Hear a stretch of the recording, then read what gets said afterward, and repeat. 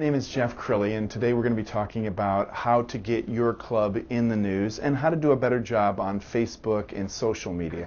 Let's start with the traditional media because uh, print, radio, television, they're not going anywhere. They're, they're still around. They're a great way to get your club publicity. So we'll get right into it. If you could, why don't we type into Google uh, Plano Star Courier because if your club is in, in the reach of, uh, of your local paper, you want to start there.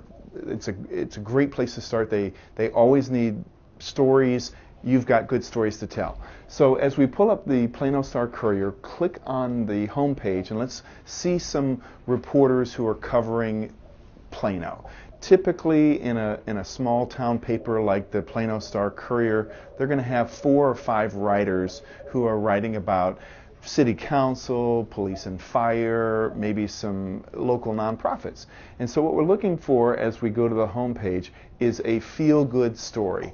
Uh, you, you don't necessarily need to tell your story to the, the crime reporter. You want to tell your story to somebody who covers positive news. What I always tell people is go old school. Use the telephone. We've all kind of gotten away from it with the internet. We've gone high tech, but this is a high touch job right now. It's just a matter of selling a story to a, um, a man or a woman who buys stories for a living. That's what reporters do. So I believe in using the old fashioned telephone. Al Bell gave it to us 130 years ago, but we all forgot about it. You pick up the phone, you call um, Conrad. If you call the main number to the paper, and most websites have the contact information right there on the home page, you call him up, and, and I always believe in beginning with a compliment. So you say to Conrad, Hey, I really enjoyed your recent story about that soldier. Uh, you really captured the, uh, the emotions involved in that story, and I wanted to compliment you on that. It, it kind of softens the, uh, the, the sell, if you will. Uh, Conrad, Conrad likes to know that you're reading his work everybody in the, in the, in the media has an ego. Uh, print, radio, television, they like to believe that when you're writing something, when you're on television, that, that people are watching, people are tuning into you. So uh, you can never go wrong with a sincere compliment. And then what you do is you go from the compliment to pitching a story. Now, when I say pitch a story, you have to you have to have a story, and people always say, "What, what is a story?" Well, stories change, but uh, in essence, you're, you're looking for something that will cause the reporter to say, Oh my goodness, where have you been all my life? That's a great story. I've been looking for something just like that. So, what makes a good story? I would say uh, clubs are doing wonderful things in the community, and these wonderful feel good stories often involve a person who benefits from our good deeds. So, I like to put a face on the story who is benefiting from our our charity work. If if your nonprofit or if your uh, club is sponsoring um, scholarships, let's let's introduce the reporter to a young lady or a young gentleman who's receiving the scholarship. I, I always tell people act like a reporter. If you were to do the job of a reporter and you were interviewing somebody who's getting a scholarship from the club, ask the basic questions. What does this mean to you? What what are you going to school for? What uh, what do you hope to achieve uh, later in life? You ask the questions that the reporter would ask, and then when you get a chance to actually talk to the reporter, you're basically acting as the uh, reporter's assistant. So let me do a practice pitch to Conrad. You say, Conrad, I really enjoyed the piece you did on the soldier. Uh, you captured the essence of that story, and, and that's why I want you on this story. My club sponsors scholarships. We give away five scholarships each year. And this one young lady really touched my heart. She comes from a low income family. Uh, she would be the first generation going to college in, in, her, in her family. And when I asked her what it means for you to get this scholarship to go to college, uh, she kind of choked up and she told me that uh, it was amazing that uh, this is fulfilling uh, her parents' dream. And I know, Conrad, if you called her up, you'd get the same kind of emotion. That's the kind of thing my club does. We believe in giving back, and we, we really look hard to find the most worthy recipient of the, the dollars that our club raises. What do you say, Conrad?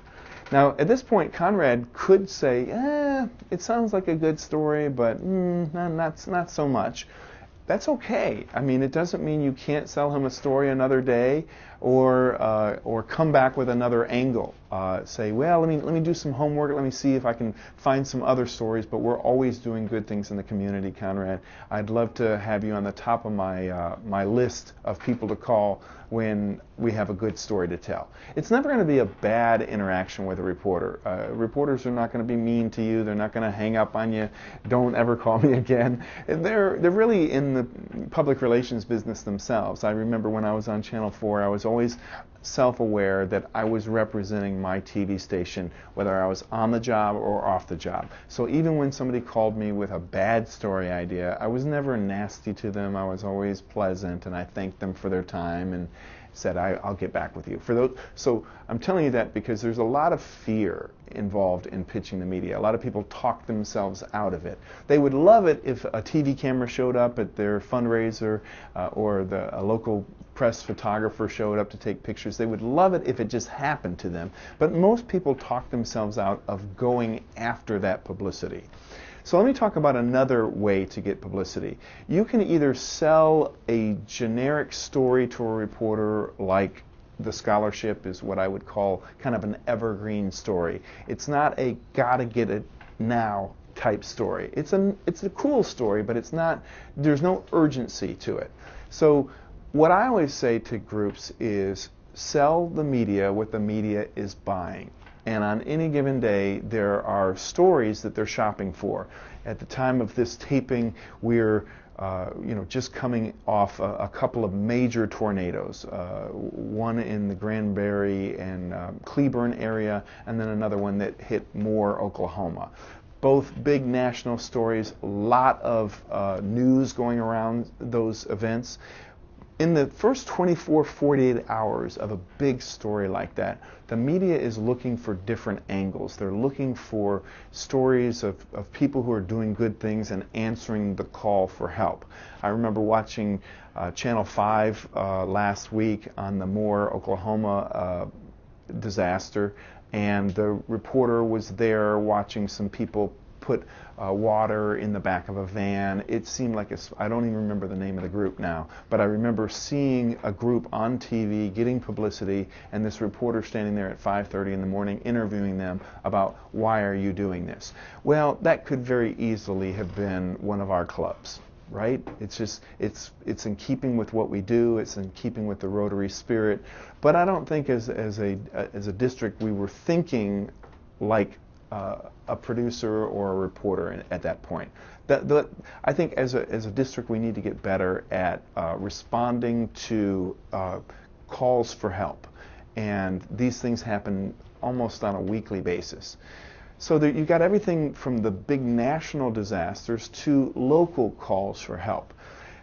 You guys have picked up the paper before and you've seen stories about uh, like uh, food shortage at a local pantry. Let's just put into Google uh, food pantry shortage.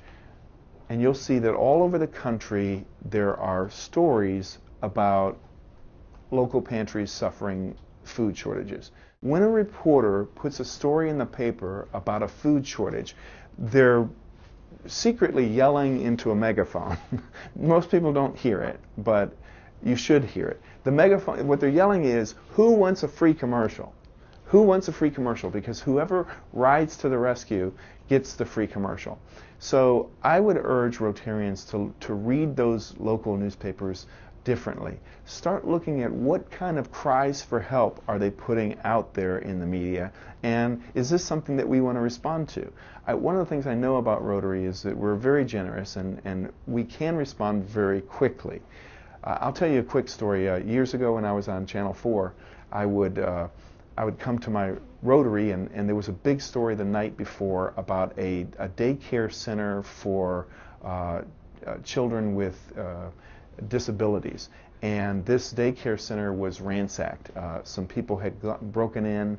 Uh, stolen all the laptops and equipment. They actually used a child's crib as a grocery cart as they went door to door and, and looted the place. Well, I happened to show up at Rotary the next morning, and said uh, we were talking about how to grow the club, how to get some media attention, and I said, "Did you guys see this story that I did last night on the news about this?" Uh, this daycare center that was ransacked, and a couple of the members had seen it. And I said, uh, we should ride to the rescue because honestly, anybody who who responds gets the, the coverage. They said, well, what do you mean by that? I said, well, they're, they're looking to replace some of these laptops. Do we have any money in the discretionary fund? And they said, yeah. Uh, how much would we be looking at? I said, it wouldn't, wouldn't even have to be a large check. It could be a thousand dollars just to get it started. So what if I say to my station that my Rotary wants to challenge every other Rotary in the district to step up um, and and make sure that these these children don't think that the world is a horrible place. That's not the the feeling we want to to leave them with. We want to let them know that the world is a good place and there are good people. So I called up my station, told them that my Rotary wanted to come to the rescue. They got real excited. They said, "When is the check presentation?" I was kind of making it up at that point, and so I said, uh, "I think it's at 11," knowing that you know photographers get in at about 9:30.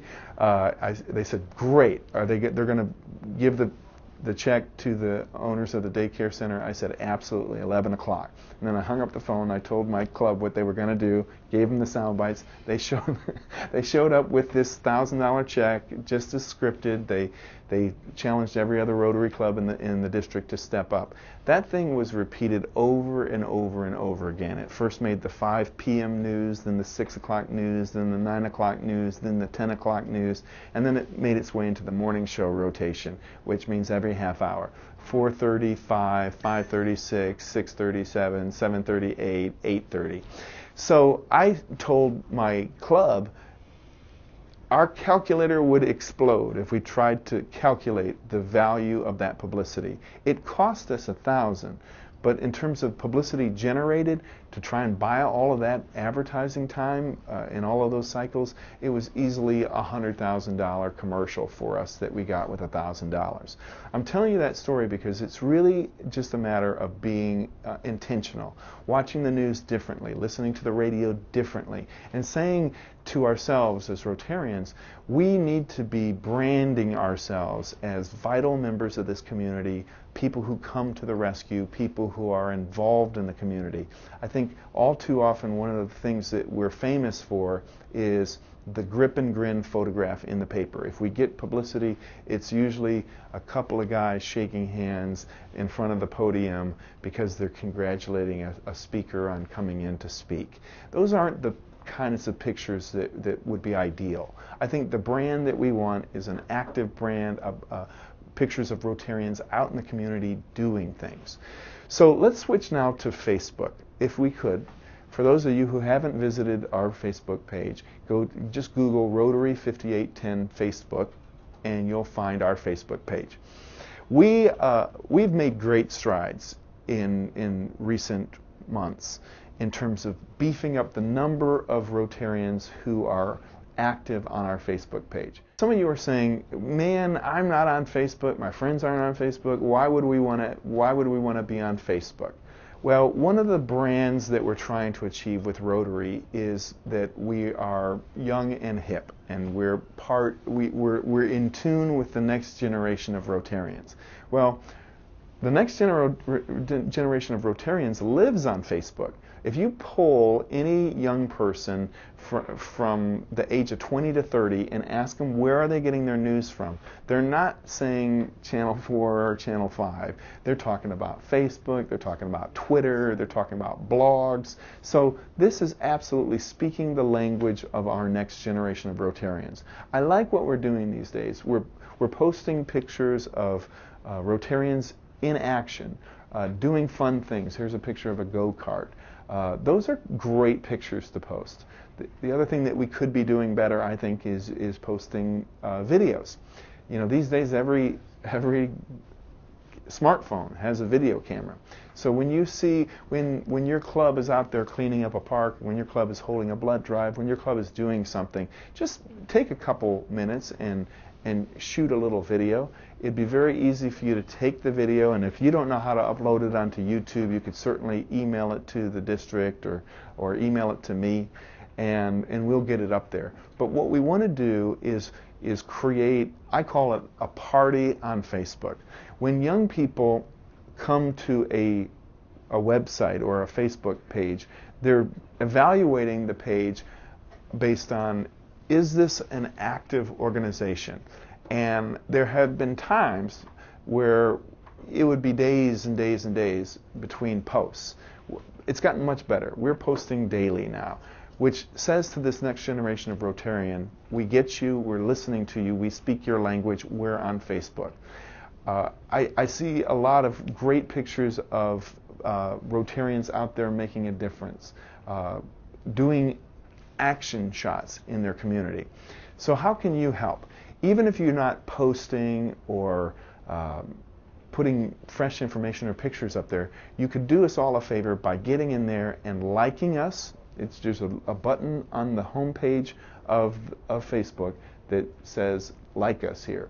Once you like uh, our, our Facebook page, it allows you to join the conversation. Even if you're just posting something like, um, proud of you, Allen Noon Club, for doing that. You know, great, great work. That is adding to the dialogue. So when a young person comes to the website, they see not only the post, but they see this interaction between Rotarians. It feels like the party is happening. And I, am really proud of how far we've come and, and are now embracing this new medium. It's not going away. If anything, that's, that's that's where everything is going, is towards social media. The best part about social media is it allows you to become a TV station to the planet. It allows you to become a newspaper publisher to the planet. These days, you can shoot a funny video of your cat and get, you know, 10 million views. You've seen these YouTube videos that go viral. Why do things go viral? Because people are touched by what they're seeing either it's funny or it's interesting or it's it's emotional and they're sent they're they're not only liking it but they're sending it to their friends and saying you need to watch this. We can create viral videos. Uh, these days I've seen several videos that uh, Rotary International has created that are very powerful well done videos. Regardless of whether you've you know you, you know how to edit and put together a slick video or if you just want to pull out your smartphone and shoot a 30 second clip of, of the rotary doing something good. You can get so much mileage out of these out of these videos and these posts and most importantly i think speak to the next generation of rotarians saying we hear you we're speaking your language so one of the things that people ask me is there is there a good time to pitch the media versus a bad time to pitch the media? Well, when the media is obsessed with something like the Oklahoma tornadoes, you, there's that old saying, if you can't beat them, join them. Well, you're not going to beat them. You're, you're not going to get them to, to talk about anything else but that Oklahoma tornado. So you can either join the feeding frenzy and sell them what they're buying or just lay low. So I would suggest that a bad time to pitch the media is when they're already obsessing about something else and you have nothing to contribute to that dialogue. So that's a bad time to pitch the media. Uh, good times to pitch the media uh, is around government holidays. So I know a lot of clubs do things with, uh, have a flag program. Well, obviously you can circle in, in, in you know, in, in a sharpie on your calendar all year round where those feeding frenzies about patriotism are going to be. You know, Flag Day is, is a no-brainer. Uh, Fourth of July, Memorial Day, Labor Day, those are all times when the media is going to be talking about patriotism. And those are good times for the clubs to get into the news if they're doing something on, on, uh, around the flag because of a couple of factors. One, you're talking about something that the media is already caring about, patriotism around Flag Day. But two, when you pitch the media around a, a, a government holiday like a, a, Labor Day weekend, a Fourth of July weekend, you're taking advantage of a slow news cycle. So what I do is is look at my calendar. I see pockets of slow news times. So we just came off of Memorial Day weekend, and I knew that beginning Thursday of last week, things were going to slow down for the media. Why? Because most schools, most stories go away. Think about all the government-related stories that begin to go away approaching Memorial Day. Schools, courts, city hall, county, state, federal. Everybody kind of winds down their PR machine because nobody wants to be answering questions uh, of reporters on the Thursday or Friday before Memorial Day. They're already off to the lake. And then news doesn't pick up again till honestly the Wednesday after Memorial Day because Tuesday is a catch up day. Everybody's coming back and answering emails, answering phone calls. So the nation works that way, but the news doesn't slow down around Memorial Day, around Labor Day, they don't trim their newscast. My my old station was doing seven and a half hours of news, and I think now they're doing eight hours of news because they moved their early show to 4:30 in the morning. I don't know who's watching, probably probably moms uh, feeding in the middle of the night. So. but eight hours of news. I, I, promise you, you've never tuned into Fox 4 and heard Clarice Tinsley say the words, Sorry, folks, nothing happened. Here's Gilligan's Island. I can promise you she'd love to do that because there's nothing going on sometimes, but she can't do that. They've sold the commercials, so they're locked into doing that, that amount of news. So, one of the things that I suggest to clubs is take advantage of those slow news times when nobody else is feeding the media, but they have these big blocks of time that need that need filling. So how would that uh, Memorial Day flag story play out? Uh, I'm trying to remember. Do they? When do they plant the flags? Is it typically the Friday? The Friday before? Okay, that Friday is a slow day. So I, I, wouldn't call up the media that morning. I would call them up the day before or even Wednesday and say, hey, I know you guys are going to be looking for uh, patriotic stories coming up on, on Memorial Day. We have a flag program. We're going to be planting X number of flags on Friday. We're going to start at this time. We're going to end at this time.